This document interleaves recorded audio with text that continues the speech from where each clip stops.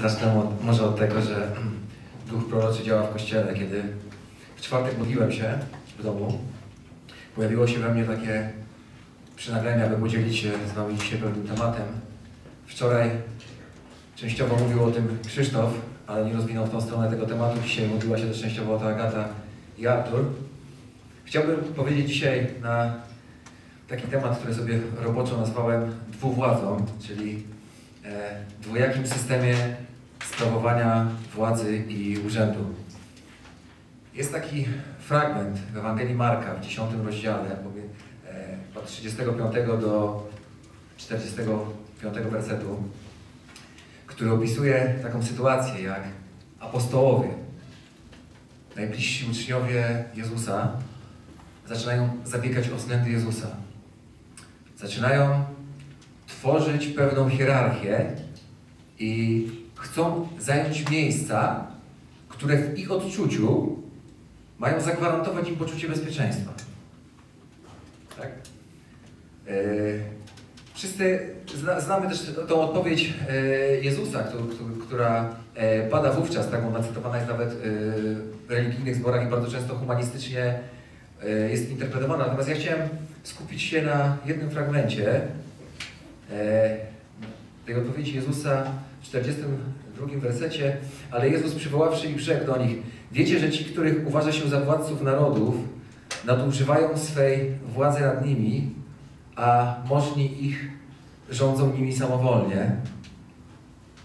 Może doczytam jeszcze do końca, żeby później nie wracać. Lecz nie tak ma być między wami, ale ktokolwiek by chciał być między wami wielki, niech będzie sługą waszym i ktokolwiek by chciał między wami być pierwszy, niech będzie sługą wszystkich, albowiem Syn, Syn Człowieczy nie przyszedł, aby mu służono, lecz aby służyć i oddawać swoje życie na okup za wielu. Wiecie, chciałbym się skupić teraz na tym, ponieważ modliłem się dalej w tym fragmencie, e, co Jezus mówi na temat świeckiej, światowej formy sprawowania władzy, co ją wyróżnia. Ja sobie wypunktowałem taką listę rzeczy. Pierwsza to autorytet cielesny. To jest bardzo silna cielesna dominacja. To są zaburzenia z piekła rodem. To jest przykrywanie maską wewnętrznych lęków i strachów. Ja Wam powiem, że ja kiedyś miałem w ogóle z tym duży problem. Miałem z tym problem przede wszystkim przed nawróceniem, ale miałem również z tym problem po nawróceniu, ponieważ moja dusza nie znała jeszcze innych sposobów.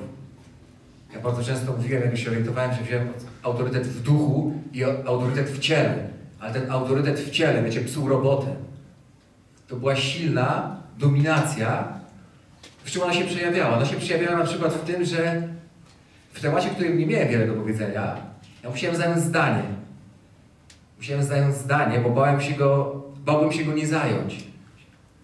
Chociaż były osoby, które mogły mieć do powiedzenia w tym temacie więcej. To było takie silne parcie e, dominacyjne, ale autorytet cielesny. Druga rzecz, jeśli chodzi o władzę świecką, to dowartościowywanie się i próżna chwała.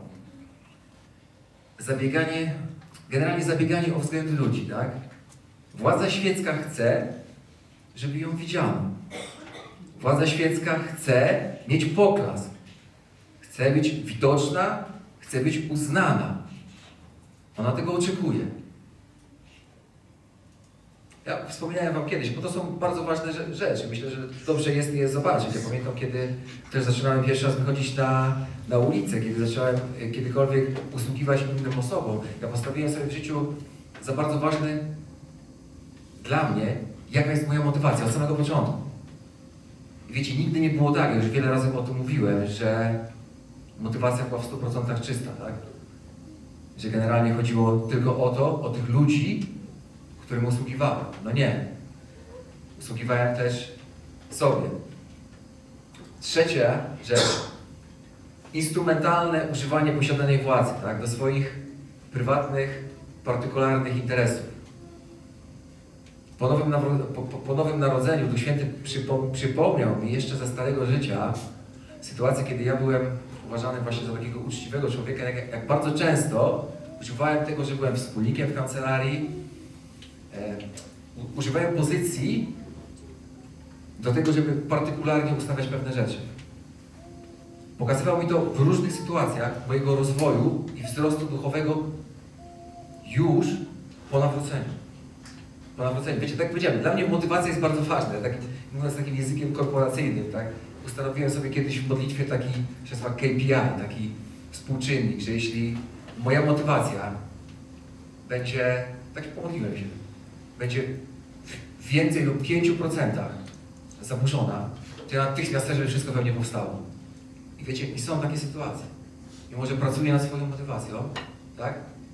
Pojawiają się takie sytuacje. W związku z tym, że się pomodliłem, modlitwą wiary, także ja wiem, które elementy wymagają pracy wtedy. Czwarta rzecz, związana ze świecką władzą. Czar i manipulacja. One są ściśle związane z tym, co powiedziałem wcześniej w tych pierwszych trzech punktach. Wiecie, ja doświadczyłem też, bo przy czarach i manipulacji trzeba wiedzieć, że jest emitent czarów i jest też ta druga strona, która, czyli jest strona czynna i jest strona bierna, tak? Ja kiedyś miałem do czynienia, poznałem człowieka w życiu swoim zawodowym, który twierdził, że jest osobą nawróconą, ponieważ to był mega czarownik i mega manipulant. Tak? Ja nie wiem, nie mam z nim relacji, nie jestem w stanie stwierdzić, czy, czy on się nawrócił, czy on poznał Jezusa, ale był czarodziejem. Pamiętam, że kiedy było tak, że nacisk tych czarów był dosyć mocny na moje życie, nie chciałem się podporządkować, kiedyś pomodliliśmy się razem, a jestem przekonany, że jeśli modlimy się o kogoś przeciwko duchowi czarów, on ma możliwość rozstać się z tym duchem i podjąć decyzję. Tamten człowiek nie podjął takiej decyzji. Na wiele miesięcy wylądował w szpitalu. Czary i manipulacja to kolejny, e, kolejna rzecz, co wyróżnia władzę świecką. Nadużycia, tak? Budowanie w ogóle swojej władzy e, w oparciu o nadużycia. To jest związane z tym, że bardzo często w takim świeckim modelu, to się też wiąże z tym partykularnym e, używaniem władzy, tak? Jest brak, brak jasnych i przejrzystych, przejrzystych, przejrzystych e, zasad. Kolejna, szósta rzecz, okopywanie się klikami wpływów, czyli budowanie wokół siebie różnego rodzaju klanów, rad, zespołów oligarchów, którzy mają zabezpieczyć nasze interesy, mają wzmocnić nasze poczucie bezpieczeństwa, tak, tego, tego władcy, tak? On się otacza takimi, e, takimi klubami. Siedem. Brak celu lub wizji lub istotne wypaczenie na, na, e, na tym etapie, tak? Jeśli chodzi o cel, wizję i, i, i kierunek. No i ostatnia rzecz, jakby fundamentalna, brak związku z prawdą, tak?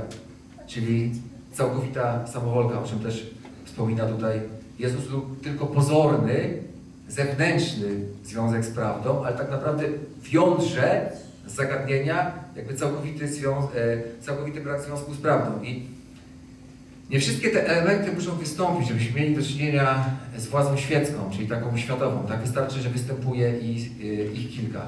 Ale co właśnie Jezus robi dalej, tak? Bo Jezus po drugiej, po drugiej stronie stawia samego siebie. Tak? Czyli z jednej strony wspomina o tej władzy świeckiej, z drugiej strony wspomina o samym sobie, prezentowanym przez Niego no niebiańskim e, sposobie fun- funkcjonowania władzy i urzędu, bo to dotyczy zarówno władzy, jak i e, sprawowania urzędu. I na czym opiera się ten system niebiański, tak? No przede wszystkim na prawdzie, tak? To jest jakby fundament. Nie ma kompromisu, jest, jest, jest prawda. Dwa, na relacji z Bogiem, na relacji z Ojcem. To, co Jezus powiedział, że wszystko, co robię, biorę od Ojca i nie robię niczego, nie robię niczego, czego nie widziałem u Ojca. W ogóle, jak to są mocne słowa. W autorytecie duchowym, w przeciwieństwie do, do tego cielesnego, o którym e, opowiadałem wcześniej. Cztery, na wierze. Pięć, na sercu sługi, czyli to, co w tym fragmencie Jezus im wyjaśnia a propos tego, kto ma być, kto jest ten większy, w jaki sposób to się odbywa.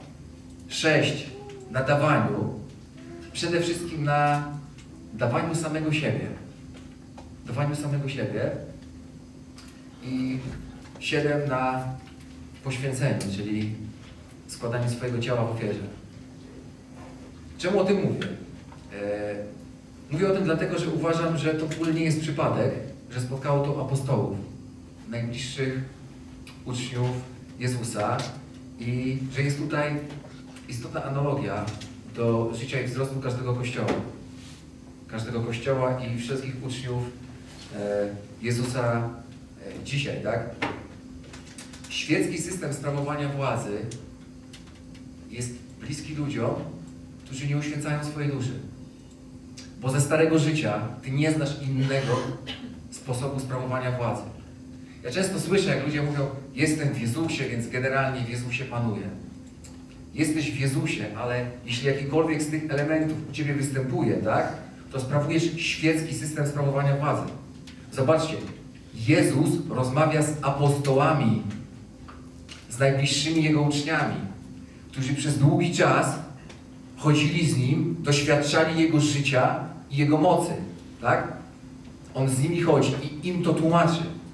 Więc ten system, ten system, on się wyciera do kościołów, on jest ściśle związany z tym, czy uświęcamy nasze dusze, bo w procesie uświęcania, po naszym nowym narodzeniu, ten system świecki, światowy i ten niebiański, one się przenikają. One się przenikają, tak?